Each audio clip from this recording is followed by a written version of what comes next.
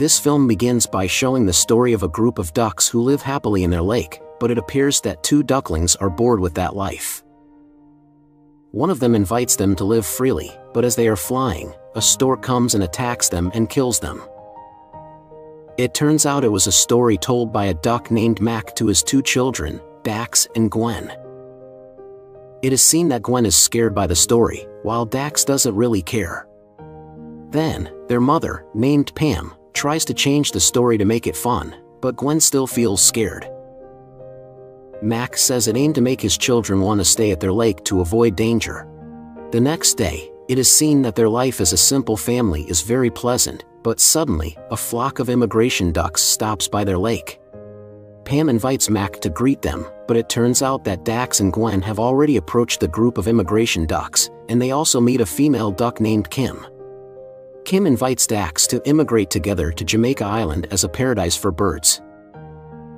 Then Mac arrives, and Gwen tells him Dax is talking with a girl. Kim's parents come to invite Mac's family to immigrate together, but Mac refuses and prefers to live in their small lake, which makes Dax disappointed that he didn't immigrate with Kim. It is seen that Pam is also annoyed with Mac's character because the three of them really want to immigrate to live a free life that they have never experienced before. Mac now realizes his family's wishes, and then at night, Mac meets his uncle named Dan. Uncle Dan hears their dispute and encourages Mac to stay at the lake and be alone until old age. Hearing that, Mac becomes doubtful, and then he wakes his family to prepare for migration. Uncle Dan comes to their house, and Gwen tries to persuade Uncle Dan with her funny behavior until Uncle Dan finally agrees to go with them. In the morning, they get ready to fly, and it is their first enjoyable flight together but they see another flock of ducks flying in the opposite direction, and it turns out that Mac's family is heading into bad weather and has to take shelter when it rains. Suddenly, a stork named Aaron finds them. Seeing that Mac's family is cold, Aaron takes them to his nest, which turns out to be a small hut. There is also Aaron's partner who looks old. Mac and his family are very afraid of being eaten by them, but Aaron is seen bringing them a bed in the form of a pan. At night, when Aaron falls asleep, Mac asks his family to leave, but it turns out that Aaron has already blocked them. When Aaron starts to attack, Mac and Pam try to restrain her while Dax and Gwen try to escape. Mac and Pam are caught, and then suddenly, a big fish comes and eats Dax and Gwen. Aaron manages to save Dax and Gwen from a big fish attack. Mac and Pam realize that Aaron is good, and they sleep together. The next day, they say goodbye to Aaron to continue their migration. While flying, Dax tells them to go higher until they see lots of beautiful clouds, and they have fun. After that, Mac's family sees a shining red light, and it turns out that they have entered an urban area with many tall buildings, which surprises them. Mac's family finally survives, but Uncle Dan is trapped in the tower and finally falls into the city park. Mac who sees Uncle Dan, immediately follows him. Uncle Dan sees the food there, and then a group of pigeons comes and snatches it. Mac and the others try to save Uncle Dan until Mac accidentally mocks a pigeon, which startles them. Then, the pigeon's leader, named Chump, comes to scold Mac. Pam tries to persuade her to give her half their food, and they agree, which makes Uncle Dan immediately share his food. Hearing that Mac's family wants to go to Jamaica, Chump tells them that she has a friend there, but Mac's family is so afraid of flying on the highway, which makes Chump repeatedly hit by vehicles. They fly higher than the vehicle and are amazed to see the city's beauty. Gwen even tries to grab the balloon that is flying towards her. They go to Chump's friend, named Delroy, but Chump tells them that Delroy's owner is a chef. They find Delroy who is in a cage, then Delroy tells them the way to Jamaica, where he used to live, which makes him sad. Mac's family plans to free Delroy to go to Jamaica with them, but his owner who works in a restaurant, takes the cage's key.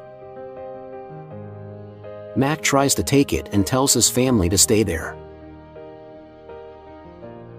Delroy's owner is seen as a chef who is going to cook for his customers, and Mac tries to take the key from the chef's jacket. It turns out that Pam also comes to get the key, and Mac is surprised to see the chef cutting the roast meat, causing him to mess up the kitchen there. Mac and Pam make it out of the kitchen, but instead, everyone is about to dance. Mac and Pam are almost trampled and plan to dance together to escape. They manage to come back to open Delroy's cage, but Mac accidentally swallows the key. Chump tries to restrain the chef while the others try to get the key out of Mac's mouth. The chef manages to enter the room, and Mac's family hides from him. Suddenly, the balloon sounds, and Mac tries to hold it until his body grows bigger. Mac is bounced out by the gas, which makes the key finally come out of his mouth. Delroy is free, and he thanks Mac, then Delroy plans to take them to Jamaica. They continue their journey to Jamaica. It is seen that Gwen wants to poop, but Pam tells her to poop while flying. Gwen still cannot do it which makes them decide to stop. After that, Gwen finds an underground place, and it turns out that it leads to a goose farm. All the geese are very happy including their leader, named Gugu. This place is like heaven for ducks and geese because it has lots of food and games that geese like. Mac's family plans to play around there before continuing their journey. And then a truck brought by the chef arrives. Dax who sees that is shocked and tries to tell Gugu. Mac also notices and tries to stop them, but Dax immediately tells all the geese to leave before they are cooked. Dax tries to escape from the chef, which damages his wings, and then Mac tries to fight the chef until all the geese run away. Mac tells his family to get out of there and manage to survive. In the afternoon, they stop somewhere, and it is seen that all the geese are too tired to fly. Mac also scolds Dax for not following his orders. At night, the chef is seen looking for all the escaped ducks using a helicopter. Meanwhile, Dax is still annoyed at being scolded, and then Gwen comes to hug him to calm his emotions. Mac wakes up, and the chef comes who manages to catch all the ducks there. Dax and Gwen hide from the chef, but Mac and the others are taken by helicopter. The chef who sees that Mac has been captured, immediately takes him. Dax also tries to fly but cannot because his wings are broken. Then, seeing several bird wings that have fallen, Dax has an idea. Pam feels hopeless because her idea to invite her family to migrate has endangered them.